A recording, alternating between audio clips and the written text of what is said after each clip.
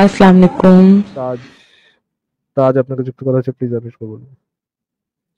হুম, hello জি ভাই শোনা যাচ্ছে। হ্যালো হ্যাঁ। আমি চেহারা দেখাতে চাইছি না। আপনার চেহারা দেখা যাবে না। আমি যদি আপনাকে স্ক্রিনে নিয়ে আসি তারপর আপনার চেহারা দেখা যাবে। বেশ বেশ ঠিক আছে। আমি অনেকক্ষণ ধরে চেষ্টা করছি যুক্ত করার জন্য ধন্যবাদ। আহ, আমি তো ভারত থেকে বলছি ওয়েস্ট বেঙ্গল আচ্ছা। ওকে তো হ্যাঁ হ্যাঁ আপ- আমি তো প্রথমে এসব বিষয়ে মানে জানতাম না। তো প্রথমে ওই উম, মাসুদ নামে যিনি আছেন ওর প্রথম আমি লাইভ দেখি ইউট- এ, ইউটিউবে। তারপর থেকে কার কার ধীরে লাইভ দেখেন মা- মাসুদ ভাই মুফতি মাসুদ মাসুদ হ্যাঁ ভাই। হ্যাঁ হ্যাঁ, আ- আব্দুল্লাহ আল মাসুদ। আব্দুল্লাহ আল মাসুদ জি। হ্যাঁ। কারণ আহ, এবং ভালো লাগে একটা কারণে তার কথা। প্রথম যে কারণ আমার ওই কনফিউজ ছিলাম যে ধর্মের বিভিন্ন রকম কথাবার্তা এবং ওই যত সব মৌলভী সাহেবদের যে অন্ধভাবে বিশ্বাস করে নেওয়ার কথাটা আমার গায়ে লাগবে সবসময় যে অন্ধভাবে বিশ্বাস করব কেন? এটা তারপর থেকে তার কথাগুলো শুনলাম তারপর ধীরে ধীরে এ, আশিক দার উম, মানে খোঁজটা পেলাম।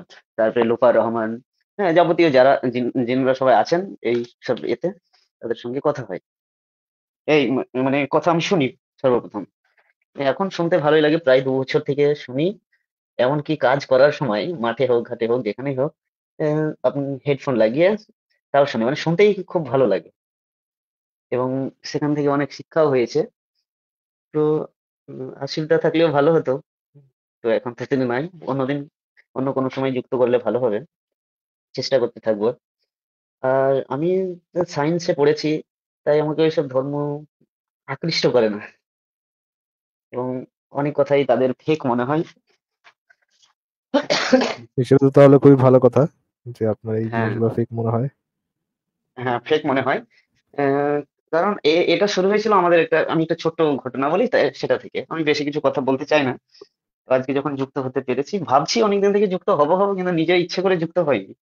তো আজকে যুক্ত হয়েছি। তো মানে আমাদের প্রত্যেক গ্রামেরই মৌলভী সাহেব থাকে। তো মৌলভী সাহেব মানে আমি ওই গ্রামের মধ্যে একটু ভালো ছেলে পড়াশোনাতে আর সবকিছুতে।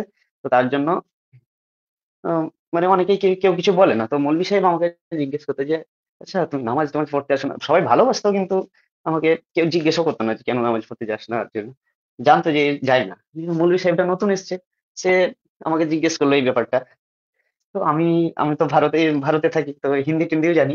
একটা সিনেমার ডায়লগ আছে ওই যে মার্ডার টু যে আহ, না ও বুলাতা হয় আমি যাতে হুম। হ্যাঁ এই কথাটা বলার পরে মৌলভী সাহেব বোঝেন হিন্দিটা এবং সে বলছে, কেন? এরকম কথা কেন? হ্যাঁ বলছি, সে তো কোনোদিন ডাকেইনি। তো মানে না ডাকাতেই তার ভোজ খেতে যাওয়ার মতো ব্যাপার হচ্ছে না? এই কথা বলেছি। তারপর থেকে বুঝে গেছে যে কেন একে সবাই বারণ মানে কিছু বলে না মসজিদে যাওয়ার জন্য, হওয়ার জন্য। তারপর থেকে মৌলভী সাহেবের সঙ্গে একটু ওই বিতর্ক টিতর্ক বাঁধে, তবে কিন্তু ডাকতো, প্রায়ই ডাকতো আমাকে। খাবার জন্য এক্সট্রা খাবার বেঁচে যেত, সেগুলো খাওয়ার জন্য ডাকতো। তো আমাকে একদিন বলল যে, দেখো, আমার তো পড়াটা ভালো তাহলে এতে ভালোর কোনো কিছু দেখতে পাই না। তারপরে বলতো যে, এটাতে শরীর ভালো থাকে, আর থাকে, এইসব বলল। হ্যাঁ তো বলি যাদের, যারা এটা করে না, পাঁচ নামাজ পড়ে না, তাদের কি শরীর খারাপ সবার খারাপ আছে? বলছে, না। কিংবা এমন কি হয়েছে যে, শুধু মুসলিমরাই ভালো আছে, তাদেরই অসুখ বিসুখ হয় না, অন্যদের হচ্ছে। তা সেটারও কোনো সদ উত্তর পাওয়া যায় তারপর থেকে আমাকে ওইরকম ফলো করতো। আর করতো এরকম ব্যাপার। তারপর থেকে আমি একটা কথা বলেছিলাম যে হ্যাঁ আমি যেতে পারি। আপনাদের এই ধর্মে যে অনেকগুলো ভাগ আছে পার্টস আছে, সেই পার্টসগুলো কি আপনি এক করতে পারবেন? আপনি নয় মানে আপনাদের যত কমিউনিটি আছে, আপনারা তো বলেন সব মুসলিম ভাই ভাই। কিন্তু প্রত্যেক হানাফি ফারাজি এরকম অনেক কিছু আছে যারা কেউ কারও কথা শুনতে চায় না, কেউ কাউকে মানতে চায় না। তাদের মধ্যে একটা যুদ্ধ বেঁধেই আছে সবসময়। তাহলে তারা যখন এক নয় তাহলে কি করে বলতে পারেন যে পুরো মুসলিম কমিউনিটি সব এক? তখন তিনি আর কোনোদিন কোনো উত্তর করেননি। এবং আমি বলেছিলাম যে আপনি যদি তাদেরকে এক করতে পারেন আপনি নয় আপনার পুরো ই তো অবশ্যই আমি চলে যাব। হ্যাঁ তারপর থেকে তো উনি চলে গেছেন আর কথাবার্তা হয়নি। তারপর থেকে শুনি। হ্যালো? আচ্ছা আচ্ছা আচ্ছা। হ্যালো? হ্যাঁ তা- তাজ ভাই শুনো আপনার আপনার ঘটনা শুনলাম আপনি কি আপনার কি আর কিছু হ্যাঁ তাজ ভাই শুনতে পাচ্ছেন তবে কারোর সঙ্গে মানে এটা একটা খুব মানে সমাজের চোখে খারাপ এর জন্য সেভাবে প্রকাশও করি না কিছু না হুম? চুপচাপ থাকতে হয়।